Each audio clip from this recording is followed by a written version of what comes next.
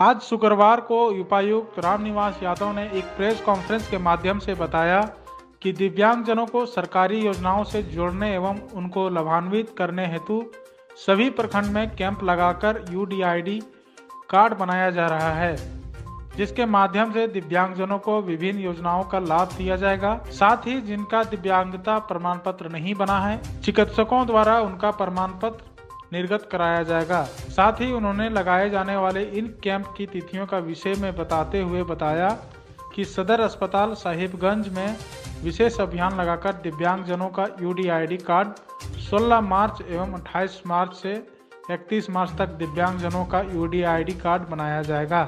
साहिबगंज ज़िले में MDA programme 7 मार्च से शुरू होकर 12 मार्च तक चलाया जाएगा। इसमें 7 मार्च को एक छोटा इंसिडेंट हुआ, जिसमें कोदरजना में कुछ बच्चों को मेडिसिन खाने के बाद कुछ कॉम्प्लिकेशंस हुए और वोमिटिंग उनको जैसा लगा और बाद में एक दो बच्चों को वोमिटिंग भी हुआ। हमने तुरंत सभी बच्चों को जिनके साथ में कॉम्प्लेक्सिटी थी, सदर हॉस्पिटल उनको भिजवाया एडमिट किया डॉक्टर्स की टीम भेजी और सभी बच्चों को जाँच करवाया। शाम तक सब बच्चे ठीक हो गए। सभी बच्चे आज की डेट में मैंने उन्हें टीम भेजकर वहाँ आंगनबाड़ी में पुनः जाँच करवाई तो सभी बच्चे आज के में स्वस्थ हैं और हम लोग का लगभग पैंसठ परसेंट से ऊपर कल तक कवरेज जिला में एम का हो चुका है। अभी 11 और 12 आज और कल दो दिन और चलेगा।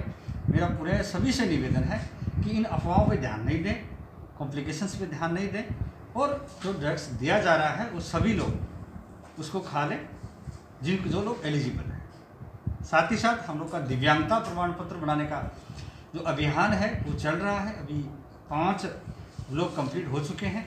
रिमेनिंग चार लोग में, आने वाले दिनों में कैंप लगाए जाएँगे। और उसके बाद, लगभग 25 मार्च के बाद 31 मार्च तक सदर अस्पताल में फिर से जो जिला में रह जाएँगे या छूट जाएँगे, उनके लिए पुनः सदर अस्पताल साहिबगंज में हम लोग कैंप लगाएँगे। और सभी से मेरा निवेदन है कि प्रमाण पत्र तो प्राप्त करें ही, साथ ही साथ जो यू कार्ड जो गवर्नमेंट ऑफ़ इंडिया का पोर्टल से इश्यू होगा, वो भी प्राप्त करें। थैंक यू साहिबगंज ज़िले में एमडीए प्रोग्राम 7 मार्च से शुरू होकर 12 मार्च तक चलाया जाए इसमें 7 मार्च को एक छोटा इंसिडेंट हुआ, जिसमें कोदरजना में कुछ बच्चों को मेडिसिन खाने के बाद कुछ कॉम्प्लिकेशंस हुए और वोमिटिंग उनको जैसा लगा और बाद में एक दो बच्चों को वोमिटिंग भी हुआ। हमने तुरंत सभी बच्चों को, जितने जिनके साथ भी कॉम्प्लेक्सिटी थी, सदर हॉस्पिटल उनको भिजवाया एडमिट किया डॉक्टर्स की टीम भेजी और सभी बच्चों को जाँच करवाया। शाम तक सब बच्चे ठीक हो गए। सभी बच्चे आज की डेट में मैंने पुनः टीम भेजकर वहाँ आंगनबाड़ी में पुनः जाँच करवाई। तो सभी बच्चे आज की डेट में स्वस्थ हैं और हम लोग का लगभग पैंसठ परसेंट से ऊपर कल तक कवरेज जिला में एम का हो चुका है। अभी 11 और 12 आज और कल दो दिन और चलेगा। मेरा पूरे सभी से निवेदन है कि इन अफवाहों पर ध्यान नहीं दें कॉम्प्लिकेशंस पे ध्यान नहीं दें और जो ड्रग्स दिया जा रहा है, वो सभी लोग उसको खा लें जिन जो लोग एलिजिबल हैं। साथ ही साथ हम लोग का दिव्यांगता प्रमाण पत्र बनाने का जो अभियान है, वो चल रहा है। अभी पाँच लोग कंप्लीट हो चुके हैं। रिमेनिंग चार लोग में, आने वाले दिनों में कैंप लगाए जाएँगे। और उसके बाद लगभग 25 मार्च के बाद 31 मार्च तक सदर अस्पताल में फिर से जो जिला में रह जाएँगे या छूट जाएँगे, उनके लिए पुनः सदर अस्पताल साहिबगंज में हम लोग कैंप लगाएँगे।